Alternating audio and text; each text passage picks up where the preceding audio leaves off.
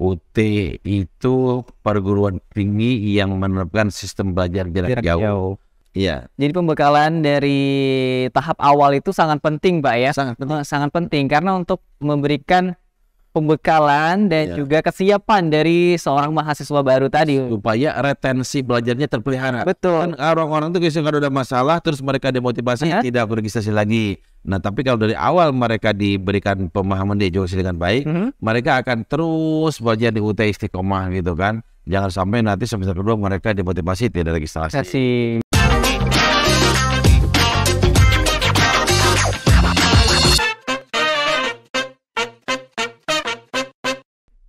Halo sahabat DT Palembang, kembali lagi di podcast Universitas Terbuka Palembang. Nah kali ini kita kedatangan tamu yang luar biasa sekali ya tentunya jarang sekali kita bisa bertemu langsung dan bertutur sapa sama beliau inilah dia Rektor Universitas Terbuka Bapak Ojat eh, Darajat. Eh, boleh disapa dulu Bapak untuk teman-teman kita yang ada di UT Palembang.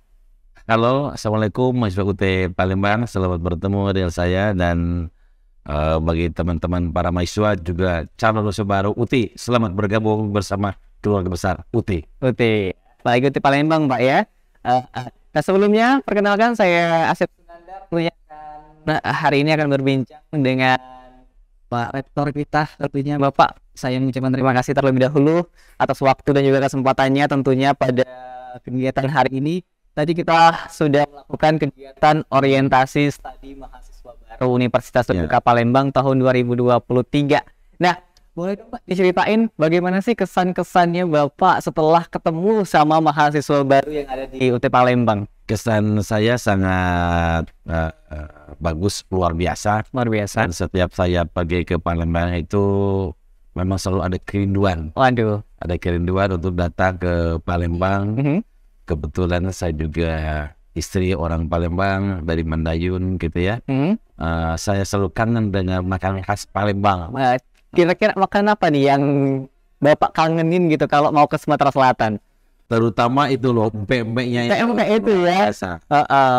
Ya, termasuk juga barusan yang barusan baru pernah sekali Mhm. saya makan langgeng. Lenggang, lenggang, lenggang, lenggang, lenggang namanya Enak tempat banget itu. Enak banget lah ya. Oke, kesan-kesannya teman-teman ya Pak Rektor kita itu kalau ke Sumatera Selatan pempek tuh lah yang dicari. Nah, eh, pempek itu Pak memang salah satu identitas makanan khas dari Sumatera Selatan ya. Mhm. Eh, eh. Nah, Pak boleh dong diceritakan kembali nih ya. Ketika mendarat ya kemarin ya, kemarin sore Pak ya baru Betul. sampai landing di sini. eh apa sih yang pengen eh, Pak Rektor sendiri ekspor di Sumatera Selatan sendiri? Ya banyak hal ya yang saya eksplor di sini. Mhm. Saya udah menginjakan kaki di Palembang itu Mhm. tahun 98 ketika saya menikah dengan apa orang Palembang. Palembang. Kemudian dalam perjalanan waktu tersebut saya pernah berkeliling Mhm. di sekitar Sumatera Selatan, Mhm. Bahkan yang paling jauh sampai ke Lintang. Kelintang. Lintang itu di pagar alam masuk lagi ke dalam Masuk itu lagi, dengan benar. kokoh gitu kan yang luar biasa. Eh, ke daerah-daerah di, di Sumatera Selatan. Nah, khusus terkait dengan apa eh, OSME kali ini Mhm. kemarin saya mendarat tiba di sini sore-sore Mhm. eh, berkumpul dengan teman-teman dalam suasana yang penuh kekeluargaan Keluarga. sangat hangat sambil makan malam nyanyi-nyanyi karaoke gitu kan luar biasa jadi terasa sebagai sebuah keluarga besar aja gitu kan di Kota Palembang dan saya menikmati suasana itu Sangat menikmati Ya. sekali Pak ya. Apalagi sambutan dari keluarga kita yang ada di Universitas Terbuka Palembang juga sangat ya antusias sekali menarik eh, dan juga kedatangan tamu yang tentunya jarang sekali bisa langsung bertemu langsung bertutur sapa Mm. tentunya kan dengan kegiatan ini adalah salah satu eh, momen yang sangat jarang terjadi gitu Pak ya. Betul. Nah, Eh, Pak setelah bercerita tentang eksplorisasi tentang Sumatera Selatan Bapak tadi bercerita tentang wilayah dan juga eh, tentang eh, makanan juga tadi. Nah kita kembali ke kegiatan OSMI tadi. Iya. Eh, kira-kira menurut Bapak nih bekal apa sih yang harus dimiliki oleh mahasiswa baru untuk eh ke depannya biar belajarnya lebih efektif lagi apalagi kita menggunakan metode jarak jauh nih Pak ya betul Heeh. Iya. Nah ini sangat penting bagi mahasiswa yang ingin bergabung ke UT karena di UT itu kan berbeda, Hmm? tidak seperti perguruan tinggi yang lain, Yang lain. konvensional atau tetap muka. UT itu perguruan tinggi yang menerapkan sistem belajar jarak, Jarak jauh. jauh. Jadi di mana mahasiswa tidak sehari-hari diasuh oleh dosennya, Hmm. oleh tenaga administrasinya, mereka harus hidup belajar kuliah secara mandiri. Secara mandiri. Tantangannya sangat besar, Hmm. kendala dan masalah yang dihadapi juga berbeda dengan mahasiswa tetap muka. Nah, oleh karena itu mereka harus diberi pembekalan dalam kegiatan orientasi studi mahasiswa baru OSMB.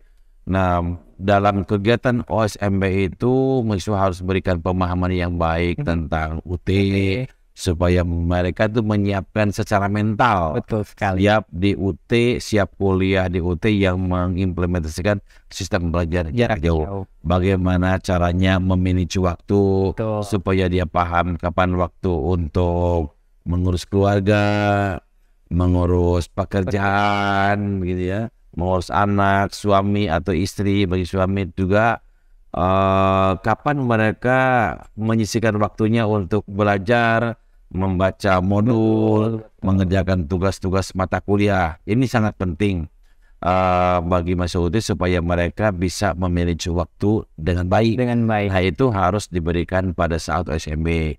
Yang berikutnya juga sangat penting mereka harus berikan pemahaman tentang UT-nya sendiri. Betul. UT itu apa sih sebenarnya? Iya. Ah, gitu. Jangan sampai mereka tidak paham tentang UT.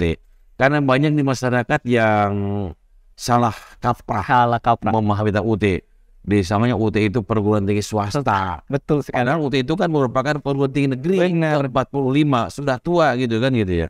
Eh, ada juga yang mempersepsikan bahwa UT itu hanya perguruan tinggi untuk orang-orang yang sudah bekerja Betul. gitu kan.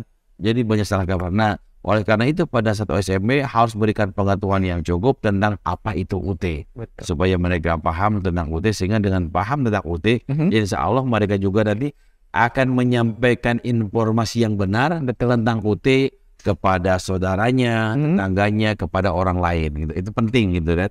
Eh, bagi eh, para mahasiswa diberikan pembekalan seperti itu. Juga yang lebih penting daripada itu adalah diberikan pemahaman atau gambaran secara umum bagaimana cara belajar di UT gitu ya.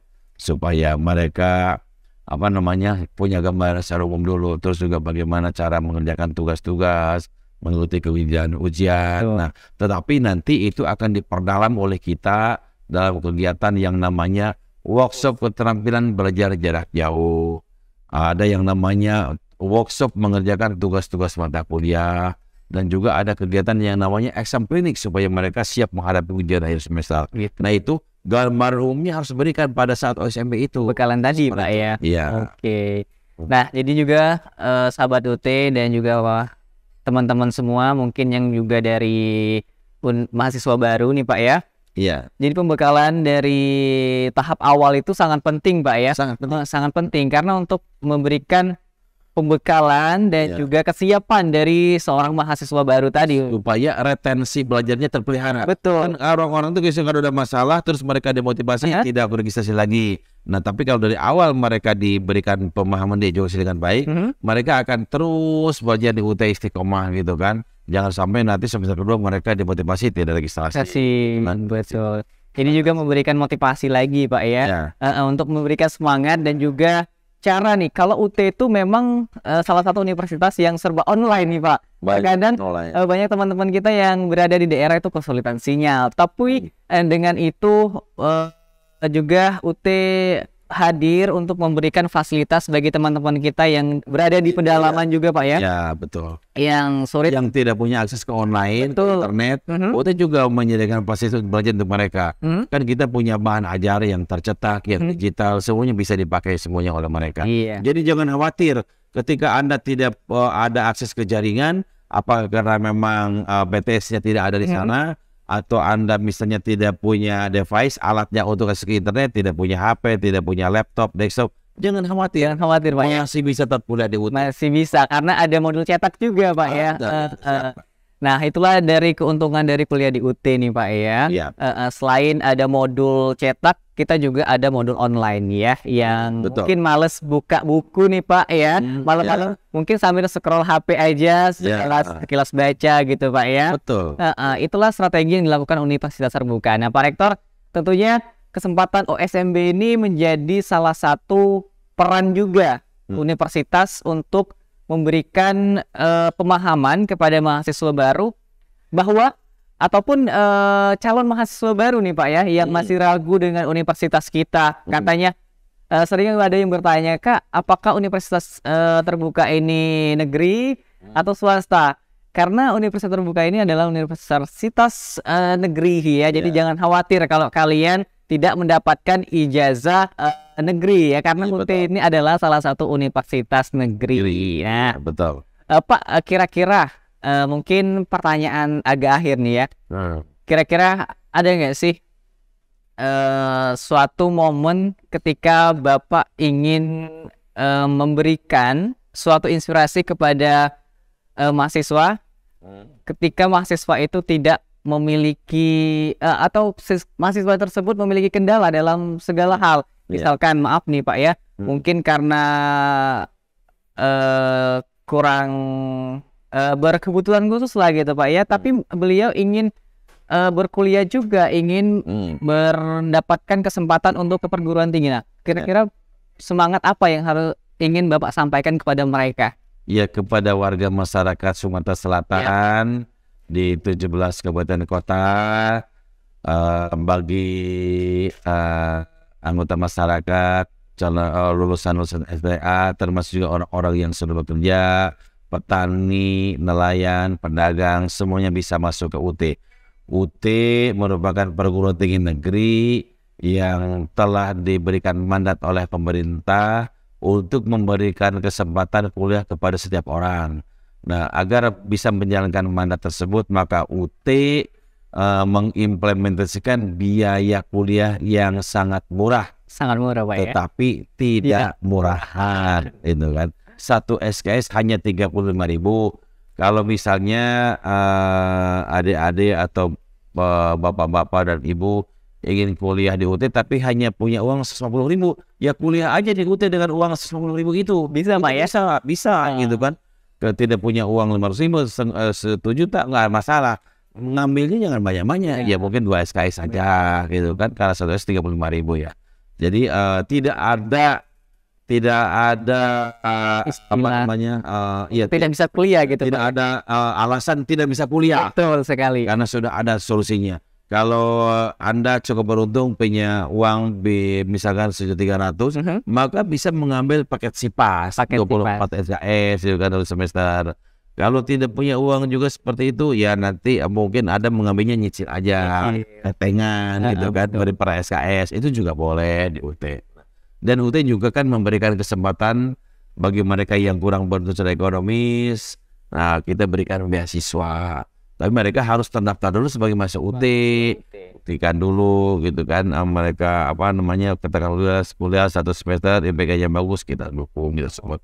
Karena UT juga banyak menyeru- menyalurkan beasiswa itu kepada mahasiswanya. Itu yang apa mungkin ini seba- eh, sebagai motivasi dari saya dan insya Allah UT akan eh, selalu mendukung memberikan pengawalan dan pendampingan kepada seluruh mahasiswa Eh, dengan teknologi yang sangat pesat saat ini memungkinkan kita bisa berkomunikasi melalui email, melalui WhatsApp atau juga media-media sosial lainnya Lainnya. eh, bagi eh, mereka yang tidak punya alat seperti HP dan sebagainya, kita juga bisa surat menyurat melalui kantor pos itu nggak ada masalah. Jadi jangan tidak ada alasan tidak bisa kuliah kan Iya. sekarang sudah ada solusinya. Betul. Nah, itulah teman-teman ya. Jadi untuk kalian calon mahasiswa jangan takut untuk berkuliah kayak kata Pak Rektor tadi, kata Pak Ojat. Eh, karena ada akan ada kesempatan bagi kalian yang ingin berusaha Pak Ya, ya, begitu betul. ya. Hmm. Uh, dan juga teman-teman untuk calon mahasiswa baru nanti juga yang mungkin ada niat sudah ada planning nih Pak ya ke depannya. Ini mau masuk UT nih aku mau ngambil jurusan ini. Hmm. Nah, kalian jangan ragu lagi. Pak Rektor udah mengatakan kalau universitas terbuka itu adalah universitas negeri Pak ya. Betul. Dan juga banyak sekali uh, fasilitas beasiswa yang disediakan oleh universitas Pak ya, benar? Iya betul. Betul sekali. Jadi jangan ragu lagi untuk masuk ke universitas terbuka. Nah, boleh Pak pertanyaan terakhir dari saya? Iya. Boleh sampaikan kesan dan juga pesan eh, Bapak datang ke Sumatera Selatan dan juga setelah ketemu dengan mahasiswa dan juga keluarga kita yang ada Ya. di Sumatera Selatan. Ya, Eh, saya sangat terkesan ketika tadi masuk ruangan Grand Forum banyak sekali mahasiswa baru UT yang bergabung UT Palembang di sini dan mereka menyebut kita juga dengan hangat. Tentu kita juga sangat bahagia. Mudah-mudahan UT semakin dicintai Tai. oleh masyarakat Sumatera Selatan. UT menjadi pilihan bagi para orang tua yang ingin menyekolahkan memulaikan anaknya ke perguruan tinggi dan mudah-mudahan kami bisa mendukung kesuksesan Anda bukan hanya sukses ketika Anda kuliah di UT tapi juga sukses mengantarkan Anda hidup di tengah-tengah masyarakat. Wow, luar biasa Pak ya. Jadi banyak sekali yang harus eh, kita emban juga Pak ya, apalagi seorang mahasiswa itu tanggung jawab ya Pak ya. Apalagi sudah berkuliah itu pasti masyarakat itu beranggapan bahwa mahas- mahasiswa ini adalah seorang yang berilmu gitu Pak ya. betul. Yang memiliki kreativitas dan juga inovasi yang tinggi. Nah, jadi setelah berkuliah kita harus eh, kembali lagi ke wilayah eh, tempat tinggal kita dengan mengamalkan ilmu-ilmu yang kita Ya, dapat tadi. betul. Oke. Pak, terima kasih untuk waktunya dan Eh, semoga kesempatan ke depan kita bisa ngobrol lagi bersama Bapak Allah. ya, Insya Allah Pak ya. Kalau ada kesempatan beliau akan hadir lagi ke Universitas Terbuka Palembang ya teman-teman. Eh, sekian mungkin obrolan kita pada hari ini tentunya terima kasih banyak untuk Pak Ojat dan teman-teman semua. Jangan lupa like, like eh, subscribe dan juga share untuk channel YouTube eh, UT Palembang. Teman-teman, saya Asep Sunandar pamit undur diri sampai jumpa.